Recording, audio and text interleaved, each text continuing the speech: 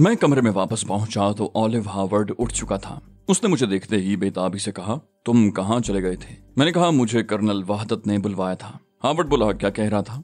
मैंने कहा, एक घंटे के बाद हम खाना खाएँगे और उसके बाद यहाँ से रवाना हो जाएँगे। ऑलिव हार्वर्ड ने हैरत से पूछा, सिर्फ़ ये बताने के लिए बुलाया था?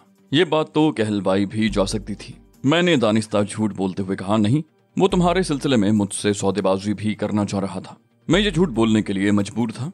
अभी मुझे उसके साथ कुछ और वक्त भी गुजारना था। अगर उसे ये इल्म हो जाता कि मेरी वजह से उसका तरतीब दिया हुआ दहशतगर्दी का मिशन खराब हो गया है तो मुमकिन है वो सब कुछ भूल कर एक बार फिर मुझे मौत के घाट उतारने की कोशिश कर डालता। लिहाजा मैंने उसे गोयटे हिल पहुँचने तक बेखबर ही रखना मुनासिब समझा। ऑलिव हावर्ड ने पूछा, किस किस्म की सौदेबाजी? मैंने कहा, उसने मुझे कई तरह के लालच दिए, मगर मैं अपनी बात पर अड़ रहा। अगर मैं चाहता तो उस वक्त तुम्हें बेच देता। हावर्ड बोला तो अब क्या प्रोग्राम है? मैंने कहा, तुम तैयार हो जाओ, खाना खाने चलें। इसके अलावा और क्या प्रोग्राम हो सकता है? वो बोला, तुमने ये नहीं पूछा कि हमें कहाँ मुंतकिल किया जाएगा? मैंने कहा, इससे क्या फ़र्क पड़ता है? वो जहाँ भी ले जाएँ, हमें जाना पड़ेगा। हावर्ड बोला, मेरा मतलब है, अब हमें जहाँ ले जाया जाएगा, वो यकीनन कोई कैद खाना होगा। मैंने कहा, ज़्यादा इम्कान तो इसी बात का है। वो बोला, यहाँ से फरार होना ज़्यादा मुश्किल नहीं हो जाएगा। वो बोला, वहाँ से फरार होना ज़्यादा मुश्किल नहीं हो जाएगा। मैंने कहा, यहाँ से फरार होने का खन्नास अपने जहन से निकाल दो ऑलिव हावर्ड। कर्नल वहादत ने मेरे लिए जो चाल बिछाया है, मैं उसमें फंसने के लिए तैयार नहीं हूँ। हावर्ड बोला, तुम किसी वाहमे का शिकार हो गए हो। मुझे तो कोई जाल नज़र नहीं आता। मैंने कहा, कर्नल वाहदत चाहता है कि मैं फरार होने की कोशिश करूँ, इसीलिए उसने हम पर निगरान मुसलत नहीं किए। लेकिन मुझे यकीन है कि कुछ ऐसे मुसल्ला निगरान ज़रूर होंगे, जिन्हें यह हिदायत दी गई होंगी कि अगर मैं फरार होने की कोशिश करूँ तो मुझे गोली मार दी जाए। हावर्ड बोला, तुम उसके कब्जे में हो, वो तुम्हें वैसे भी मार सकता है। इतना लंबा चक्कर चलाने की क्या ज़रूरत है? मैंने कहा, वो बहुत से लोगों को जवाब दे है ऑलिव हावर्ड और उसे खास तौर पर हिदायत दी गई है कि मुझे कोई नुकसान न पहुँचने पाए। यही वजह है कि उसने मेरी जबान से कही हुई कई बातें टेप कर ली हैं। ताकि अगर मुझे कोई नुकसान पहुँचे तो आला हुकाम को टेप सुनवा कर अपनी पोजीशन साफ़ कर सके। उसकी इस हरकत से उसकी नीयत का फतूर पता चलता है। उसे मेरी गुफ्तगु रिकॉर्ड करने की क्या ज़रूरत थी? यकीनन उसके जहन में मुझे नुकसान पहुँचाने का तस्वुर मौजूद था। तभी तो उसने पेशबंदी के तौर पर मेरे खिलाफ सबूत हासिल किया। हावर्ड बोला, मुमकिन है उसने महज एहतियातन ही ऐसा किया हो, वरना वो गुफ्तु रिकॉर्ड करने के बाद उसे कुछ करना होता तो अब तक कर गुजरता। मैंने कहा, वो बहुत जहीन है, ऑलिव हावर्ड जानता है कि सिर्फ़ मेरी गुफ्तगु का कैसेट पेश करके वो अपनी पोजीशन साफ़ नहीं कर सकेगा। मेरे खिलाफ कार्रवाई करने के लिए उसे इस गुफ्तगु के अलावा भी किसी मज़बूत जवाब की ज़रूरत पड़ेगी। न सिर्फ़ मज़बूत जवाब बल्कि उसे गवाह भी दरकार होंगे। इसलिए उसने ज़ाहरी तौर पर मेरी निगरानी के लिए लोग मुसलत नहीं किए। अगर मैंने फरार होने की कोशिश की होती तो न सिर्फ़ मैं मारा जाता, बल्कि उसे मेरे खिलाफ बहुत से गवाह भी मैसर आ जाते।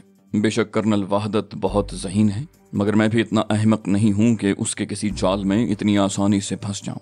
ओलिव हावर्ड मुझे मुतहजराना नज़रों से देख रहा था। बोला, तुम्हारी जगह कोई और होता तो उस जाल में फंसने से बच नहीं सकता था। मैंने बेपरवाही से कहा, हालाँकि ये तो बिल्कुल सामने की बात है। हावर्ड बोला, लेकिन तुमने ये भी सोचा है कि हमें रिहाई कैसे मिलेगी? मैंने कहा, ऐसी बातें सोची नहीं जाती। मौके की ताक में रहना पड़ता है। जैसे ही हमें मौका मिलेगा, हम फरार होने की कोशिश ज़रूर करेंगे। ओलिव हावर्ड बाथरूम में घुस गया और मैं ख्यालात के ताने बाने में उलझ गया। जरा सी फुर्सत मिलते ही तहजीब की यादें मेरे जहन पर हमलावर होने लगती।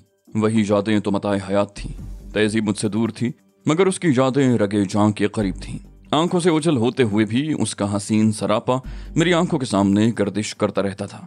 मैं उसकी तलाश में सरगर्दा था, और मुझे यकीन था कि वो भी मेरी तलाश में सरगर्दा होगी। मेरे मुकाबले में उसके वसाइल बहुत महदूद थे, मगर वो बहुत बाहिम्मत थी। मुझे मालूम था कि वो हौसला हारने वालों में से नहीं है। उसकी लगन सच्ची है, सच्ची बेगरज और बेलौस। इस जहान अबू गिल में कौन किसी से बेगरज होके मिलता है? बेगर्जियों की तहों के नीचे से खुद गर्जियों के खौफनाक इफरीत बरामद होते हैं। जहनी हम आहंगी या तो मैसर नहीं आती, और या फिर बेतबारियों की नज़र हो जाती है। मैं खुशकिस्मत था कि तहजीब के साथ न सिर्फ़ मेरी मुकम्मल जहनी हम आहंगी थी बल्कि हमारे दरमियान एतबार का जो रिश्ता था, वो शाजो नादिर ही किसी को नसीब होता होगा। हमें एक दूसरे की मोहब्बत पर कामिल यकीन था। लेकिन अफसोस ये था कि मैं तहजीब तक पहुँचने की कोई मस्बत जद्दोजहद नहीं कर पा रहा था। मेरी जान को इतने बखेड़े लगे हुए थे कि एक लम्हे की फुर्सत मिलना भी मुहाल हो रहा था। इन बखेड़ों से जरा फुर्सत मिलती तो मैं तहजीब की तलाश पर तवज्जो मरकूज करता। एक घंटे बाद मैं और ऑलिव हावर्ड खाने की मेज पर पहुँचे तो कर्नल वाहदत वहाँ मौजूद था। खाने के दौरान ऑलिव हावर्ड अपनी जबान पर काबू न रख सका और कर्नल वाहदत से वही सवाल कर डाला जो मैंने उससे नहीं किया था। बोला, हमें यहाँ से कहाँ ले जाया जाएगा? कर्नल वहादत खाना खाते खाते रुक गया। उसने ओलिव हावर्ड को कड़े तेवरों से देखते हुए कहा, क्यों? ओलिव हावर्ड गड़बड़ा गया। बोला, कोई खास बात नहीं है, मैं वैसे ही पूछ रहा हूँ। कर्नल वहादत गुर्राया, अपनी खाल में रहो ओलिव हावर्ड मेरा नाम कर्नल वहादत है, अली यार खान नहीं। मैं तुम्हें दो मिनट में सीधा करके रख दूँगा। ओलिव हावर्ड का हाथ भी रुक गया। उसने कर्नल वहादत को घूर कर देखा। बोला, मुझसे इस लहजे में बात करने की ज़रूरत तुम्हें सिर्फ़ इस वजह से हुई है कि मैं इस वक्त तुम्हारी कैद में हूँ। वरना तुम जैसे बीसियों कर्नल मुझे सलूट करते हैं, और मैं उनकी तरफ़ तवज्जो भी नहीं देता। कर्नल वाहदत, धाड़ा यू शडअप और कुर्सी खिसका कर खड़ा हो गया। तुम मेरे कैदी हो, और मैं तुम्हें बताऊँगा कि एक कैदी को किस अंदाज में गुफ्तगू करना चाहिए। मैं दम बखुद ये सब कुछ देख रहा था। मेरी समझ में नहीं आ रहा था कि इस सूरत हाल से कैसे निमटू। ओलिव हावर्ड ने कहा, मैं तुम्हारा कैदी ज़रूर हूँ, कर्नल वाहदत। लेकिन मुझे कैदी बनाने में तुम्हारा कोई कमाल नहीं है। तुमने बुजदिलों की तरह मुझे गिरफ़्तार किया है। मैं तो अली अर खान समेत तुम्हारी हुकूमत का मेहमान था। मगर तुमने तो आदाब मेजबानी तक का ख्याल नहीं किया। कर्नल वहादत का चेहरा सुर्ख हो गया। यूँ महसूस हो रहा था जैसे उसके सारे जिस्म का खून सिमट कर उसके चेहरे पर आ गया हो। ओलिव हावर्ड ने उसकी दुखती हुई रग पर हाथ रख दिया था। कर्नल वहादत ने जिस तरह ओलिव हावर्ड को गिरफ़्तार किया था, वो वाकई मायूब था और शायद कर्नल वहादत को भी इस बात का एहसास था। कर्नल वहादत ने बिफरे हुए अंदाज में कहा, अगर कोई सांप किसी के घर में धोखे से दाखिल हो जाए तो उसकी मौजूदगी का इल्म होते ही उसका सर कुचलना लाजिम हो जाता है। खुदा की शान है कि अब सांप भी मेहमान होने के दावेदार होने लगे। हावर्ड बोला, अव्वल तो मैं सांप नहीं, इंसान हूँ। लेकिन अगर तुम एक इंसान को सांप से तशबी देने पर तुल ही गए हो तो ये क्यों नहीं कहते कि वो सांप एक सपेरे के कब्जे में था? और सपेरा न सिर्फ़ तुम्हारा मेहमान था, बल्कि वो तुम्हारा बहुत बड़ा मोहसिन भी था। ओलिव हावर्ड के दिलनशी पहराया गुफ्तगु ने मुझे शदीद हैरत में मुबतला कर दिया। मुझे नहीं मालूम था कि वो अपना माफ़ी जमीर बयान करने के लिए इतना खूबसूरत अंदाज बयान भी अपना सकता है। मैंने उसे हमेशा अक्खड़ इंसान के रूप में देखा था, जो सीधे साधे अंदाज में अपना मुद्दा बयान कर देता था। कर्नल वाहदत ने कहा, मैं तुम्हारी खाल खिंचवा के उसमें भुस भरवा दूँगा। उसका गुस्सा दीवानगी की हदों को छू रहा था ओलिफावर ने बड़े सुकून से कहा, तुमसे पहले भी हज़ारों लोगों ने अपने कैदियों के साथ ऐसा ही सलूक किया होगा। अगर तुम भी यही करोगे तो कोई कमाल नहीं करोगे। कर्नल वाहदत ने खाने की मेज पर नस्ब एक बटन पर उंगली रख दी। उसने भिन्नाए हुए लहजे में कहा, मैं तुम्हें अभी बताता हूँ कि ज़रूरत से ज़्यादा जबान चलाने का अंजाम क्या होता है। ओलिव हावर्ड पर किसी बात का कोई असर नहीं हो रहा था। वो पहले कैसे ही पुरसकून अंदाज में बैठा, खाना खा रहा था। अभी कर्नल वाहदत को बटन पर उंगली रखे आधा मिनट भी नहीं गुजरा होगा कि दरवाज़ा खुला और दो मुसल्ला फौजी कमरे में घुस आए। कर्नल वाहदत ने ओलिव हावर्ड की तरफ़ इशारा करके उन दोनों फौजियों से कहा, इसे तेरह नंबर में ले चलो। मैंने तेज़ी से कहा, एक मिनट। जरा मेरी बात भी सुन लें। कर्नल वहादत ने ऑलिव हावर्ड की तरफ़ बढ़ते हुए फौजियों को रुकने का इशारा किया और मेरी तरफ़ इस्तफाम या नज़रों से देखने लगा। मैंने ऑलिव हावर्ड पर नज़र डालकर कहा, मैं तुमसे तन्हाई में कुछ बात करना चाहता हूँ। कर्नल वहादत ने कहा, आओ, और कुर्सी से उठ गया। कमरे से बाहर राहदारी में आकर वो रुक गया। बोला हाँ कहो, क्या बात है? मैंने कहा, मैं तुमसे ऑलिव हावर्ड के बारे में कुछ कहना चाहता हूँ। कर्नल वाहदत ने बुरा सा मुँह बनाया। बोला, मुझे मालूम है तुम उसकी सिफारिश करोगे? मैंने जल्दी से कहा, हरगिज नहीं, बल्कि मैं खतरे की बू सूंघ रहा हूँ। और उसकी तरफ़ से तुम्हें होशियार करना चाहता हूँ। कर्नल वाहदत के नथने फूलने और पिचकने लगे। बोला खतरे की बू, वो मेरी कैद में है और ये मिलिट्री इंटेलिजेंस की इमारत है। मैंने कहा, वो तो ठीक है। लेकिन मैंने अंदाज़ा लगाया है कि वो यहाँ से जाना नहीं चाहता। कर्नल वाहदत ने मुझे घूरा। बोला, ये अंदाज़ा तुमने कैसे लगाया? मैंने कहा, जैसे ही उसे ये इल्म हुआ कि हम यहाँ से कूच करने वाले हैं, उसने तुमसे ऐसी गुफ्तगु शुरू कर दी, जिसके नतीजे में तुम मुश्तिल हो गए। कर्नल वाहदत की आँखें सोच में डूब गईं। चंद लम्हे बाद उसने कहा, लेकिन हमारी रवानगी की ताखीर से उसे क्या फ़ायदा पहुँच सकता है?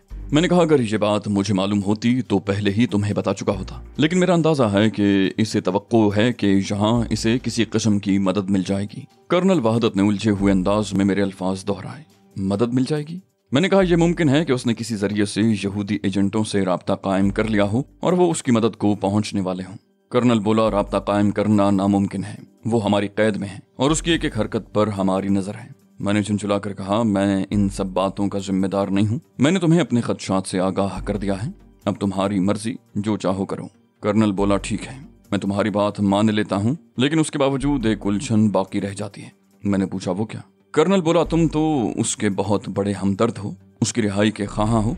फिर तुम उसके खिलाफ क्यों बोल रहे हो? मैंने कहा, तुम हद से ज़्यादा गलत फहमियों का शिकार हो, कर्नल वाहदत। मैं उसका हमदर्द हरगिज नहीं हूँ। अलबत्ता उसकी रिहाई का खां ज़रूर हूँ, लेकिन मैं हरगिज ये पसंद नहीं करूँगा कि वो यहूदी एजेंटों के ज़रिए रिहाई पाए। मैं तो सिर्फ़ अपना वादा पूरा करने की खातिर उसे रिहा कराना चाहता हूँ। कर्नल बोला, बात तो एक ही है। इससे क्या फ़र्क पड़ता है कि उसे किस ज़रिए से रिहाई मिलती है? मैंने कहा, फ़िलहाल मैं उसे अपने कब्जे में रखना चाहता हूँ। इसके अलावा अगर खुदा न खास्ता यहूदी एजेंट अपनी कोशिशों में कामयाब हो गए तो मुझे बड़ा कलक होगा। मैं पहले भी बता चुका हूँ, यहूदियों की नाकामियों पर मुझे रूहानी मसरत का एहसास होता है। कर्नल बोला, यहूदी एजेंटों का तस्वुर बड़ा बईद इम्कान है, लेकिन खैर, फ़िलहाल मैं इसे छोड़े देता हूँ। मंजिल मकसूद पर पहुँच कर इससे निमटूँगा। मैंने कहा, ये अक्लमंदी वाली बात हुई। हम दोनों कमरे में वापस आए तो ऑलिव हार्वर्ड बदस्तूर खाने में मसरूफ था। दो फौजी उसके सर पर मुसलत थे, मगर उसे उनकी जरा बराबर भी परवाह मालूम नहीं हो रही थी। कर्नल वाहदत ने फौजियों से कहा, तुम लोग जाओ ज़रूरत पड़ी तो बुला लूँगा। दोनों फौजी सल्यूट करके कमरे से चले गए। खाना खत्म होने के बाद कर्नल वाहदत ने हमें बाहर चलने का इशारा किया। इमारत के अहाते में एक बंद गाड़ी हमारी मुंतजर थी। कर्नल वाहदत के इशारे पर हम दोनों गाड़ी के अकबी हिस्से में बैठ गए। मेरे और ऑलिव हावर्ड के अलावा वैन के अकबी हिस्से में चार मुसल्ला मुहाफिज भी मौजूद थे। वैन में बैठने के थोड़ी ही देर के बाद वैन हमें लेकर नामालूम मंजिल की तरफ़ रवाना हो गई। मैंने गुस्सीले लहजे में ऑलिव हावर्ड को मुखातिब किया। तुम इंतहाई अहमक आदमी हो ऑलिव हावर्ड। हावर्ड ने चौंक कर पूछा, क्या बात हुई? मैंने कहा, कर्नल वहादत को गुस्सा दिलाने की क्या ज़रूरत थी? वो बोला, मैं कोई गलत बात तो नहीं कर रहा था। उसे गुस्सा आ गया तो मैं क्या करूँ? मैंने झुंझला कर कहा, जवाब में, अगर वो तुम्हारी चमड़ी उतार देता तो मैं क्या कर लेता? हावर्ड ने ढिटाई से कहा, मुझसे ज़्यादा तुम्हें कौन जानेगा? मुझे मालूम था कि तुम कोई ना कोई तदबीर ज़रूर कर लोगे। मैं ऑलिव हावर्ड को घूर कर रह गया। उसे कुछ कहना सुनना फजूल था। चारों मुहाफिज बेताल्लुकाना अंदाज में बैठे हुए थे।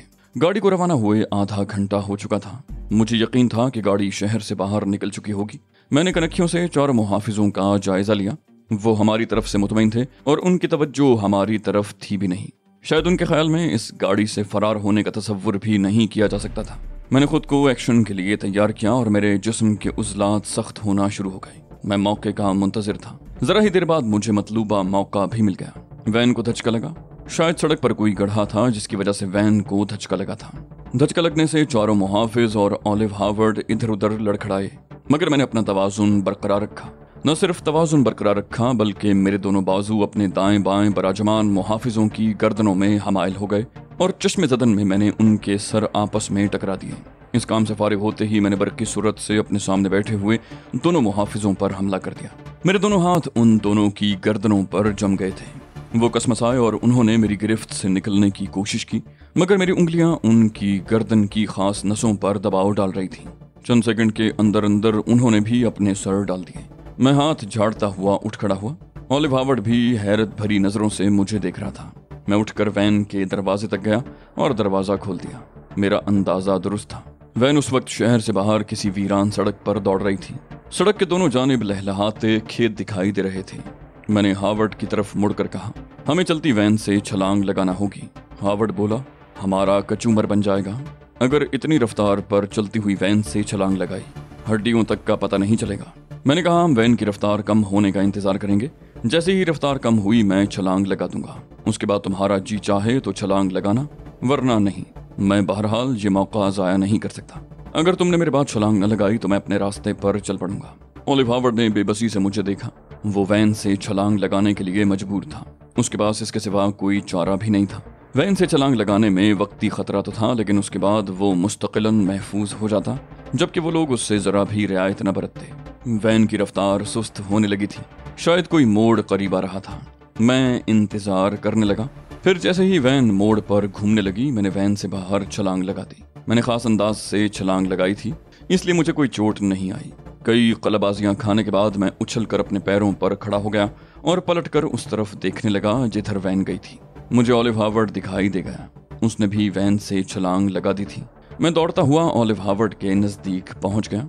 उसके करीब पहुंचकर मैंने उसे झंझोड़ते हुए कहा, उठो, ऑलिव हावर्ड वो सड़क पर औंधे मुँह पड़ा हुआ था। ऑलिव हावर्ड ने सर उठाकर चुंधियाई हुई नज़रों से मुझे देखा। उसने मध्यम आवाज़ में कहा, मुझे शायद चोट आ गई है। मैंने उसे सहारा देते हुए कहा, उठने की कोशिश करो। यहाँ किसी भी वक्त कोई गाड़ी आ सकती है। हम मशकूक हालत में हैं। मैं नहीं चाहता कि हम फिर किसी मुसीबत में गिरफ़्तार हो जाएँ। ऑलिव हावर्ड मेरा सहारा लेकर खड़ा हो गया। मेरी नज़रें सड़क पर भटक रही थी। मगर खैरियत हुई कि उस वक्त कोई गाड़ी वहाँ से नहीं गुजरी। ओलिव हावर्ड ने चलने की कोशिश की तो मुझे उसकी चाल में खफीफ सी लंगड़ाहट महसूस हुई। ओलिव हावर्ड कराहा, कूल्हे की हड्डी में चोट लगी है। मैंने कहा, मामूली चोट है ऑलिव हावर्ड। कुछ दूर चलोगे तो तकलीफ़ में कमी हो जाएगी।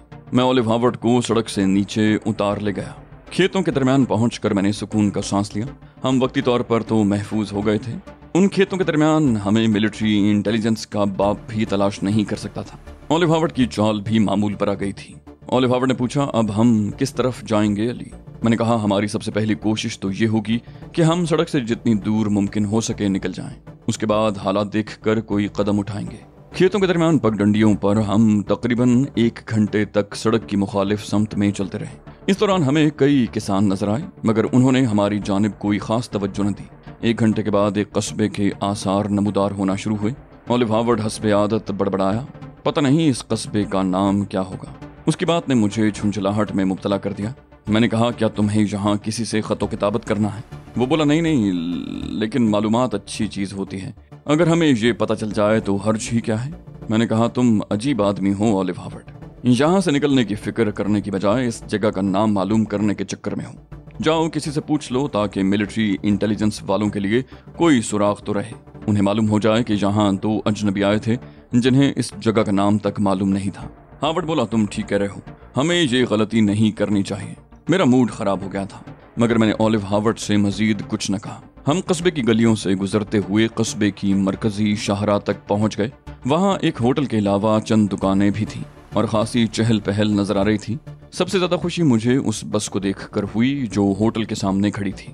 ये हाईवे पर चलने वाली बस थी और उस पर कई जगहों के नाम भी लिखे हुए थे। मुझे तो नहीं थी कि यहाँ से कोई बस भी मिल सकेगी। मेरा दिल खुशी से बल्लियों उछलने लगा। मैंने ऑलिव हावर्ड का हाथ दबाते हुए कहा, काम बन गया, ऑलिव हावर्ड इस बस के ज़रिए हम यहाँ से आसानी निकल जाएँगे। हावर्ड बोला हाँ लेकिन किराया अदा करने के लिए रकम न तुम्हारे पास है और ना ही मेरे पास। फिर यहाँ से कैसे निकलेंगे? मैंने हावर्ड से कहा, तुम चलकर बस में बैठो, मैं अभी आता हूँ। और मैं एक दुकान की तरफ़ बढ़ गया। रकम का मसला वाकई बहुत संगीन था और फौरी तौर पर रकम का बंदोबस्त करने के लिए मैं हर जायज़ नाजायज तरीका इख्तियार करने के लिए मजबूर था। बस से उतरे हुए मुसाफिर होटल के बाहर चौबीस साहिबान तले पड़ी हुई कुर्सियों पर बैठे कहवे की चुस्कियाँ लगाकर ताज़ा दम हो रहे थे। उनसे मेरा मसला हल नहीं हो सकता था। मेरी निगाहें किसी ऐसे शख्स की तलाश में भटक रही थीं जो मेरा मसला हल कर सकता। जरा ही देर बाद मुझे अपना मतलूबा शख्स नज़र आ गया। वो एक फरबा अंदाम शख्स था जो पीले रंग की एक मर्सिडीज से उतरकर एक दुकान में दाखिल हो रहा था। मैंने उस पर निगाह रखी। दुकान में दाखिल होकर उसने चंद अशिया खरीदी और अदायगी करने के लिए जेब से पर्स निकाला। उसका बटवा रियालों से भरा हुआ था। मैं बजाहिर दुकान के शोकेस में सजी अशिया देख रहा था, मगर मेरी तमाम तर तवज्जो उस शख्स की तरफ़ थी। रकम अदा करने के बाद उसने बटवा जेब में रखा और वापसी के लिए पलट गया। मैं टहलता हुआ दुकान के दरवाजे की तरफ़ बढ़ा और एन उस वक्त जब वो दुकान के दरवाजे से बाहर निकल रहा था, मैं दुकान के दरवाजे से अंदर दाखिल हुआ। उसके बराबर से गुजरते हुए मैंने बड़ी सफ़ाई से उसकी जेब से उसका बटवा उड़ा लिया। उस शख्स को एहसास भी ना हो सका कि उसके साथ क्या सानहा गुजर गया है। दुकान में दाखिल होने के बाद मैंने दुकानदार से चंद ऐसी अशिया के बारे में दरियाफ्त किया, जिनके बारे में मुझे यकीन था कि वो दुकान में मौजूद नहीं होंगी। दुकानदार से इनकार सुनकर मैं मायूसी का इजहार करता हुआ दुकान से बाहर निकल आया। मर्सिडीज जा चुकी थी। मैं तेज तेज कदमों से चलता हुआ बस में सवार हो गया। हावर्ड ने मुझे देखते ही कहा, तुम क्या करने गए थे? मैंने हावर्ड के बराबर सीट पर बैठते हुए कहा, एक शिनासा चेहरा नज़र आ गया था, उससे सलाम दुआ करने रुक गया। हावर्ड ने चौंक कर मुझे घूरा, बोला, शिनासा चेहरा? यहाँ तुम्हें कौन शिनासा मिल गया? मैंने बेजारी से कहा, है एक पुराना वाकिफकार। उसने इस कस्बे में दुकान खोल रखी है। हावर्ड ने तशवीश से कहा, तब तो तुम्हें उससे नहीं मिलना चाहिए था। अगर जहाँ पुछगिछ हुई तो उन्हें पता चल जाएगा। मैंने हावर्ड को टालने की कोशिश की। कहा, वो मुझे किसी और हैसियत से जानता है। हावर्ड बोला, लेकिन हम टिकट कैसे लेंगे? रकम का तो कोई बंदोबस्त नहीं हुआ होगा।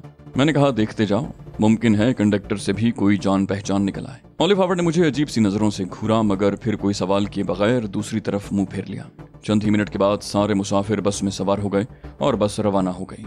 जैसे ही बस आबादी से बाहर निकली, मैंने जेब में हाथ डालकर बटवे में से रकम निकाली और खाली बटवा दूसरों की निगाह बचाकर बस की खिड़की से बाहर उछाल दिया। थोड़ी देर बाद कंडक्टर टिकट लेने मेरे पास आया तो मैंने जेब से एक बड़ा नोट निकाल कर उसके हवाले किया और आखिरी स्टॉप के दो टिकट तलब किए।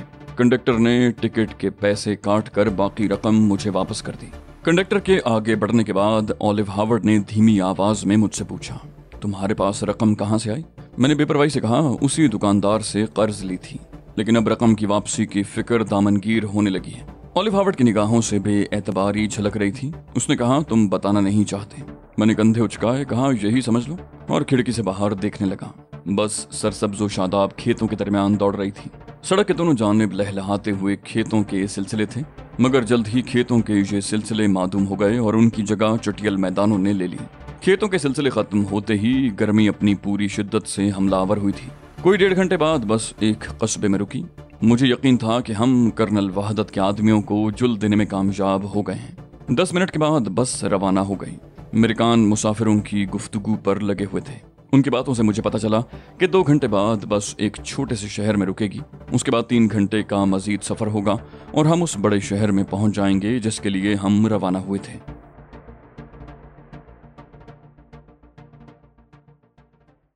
तो दोस्तों, ये थी हमारी आज की एपिसोड उम्मीद करते हैं आपको हमारी कहानी पसंद आई होगी। जाने से पहले इस वीडियो को लाइक कीजिए और शेयर करना मत भूलिए।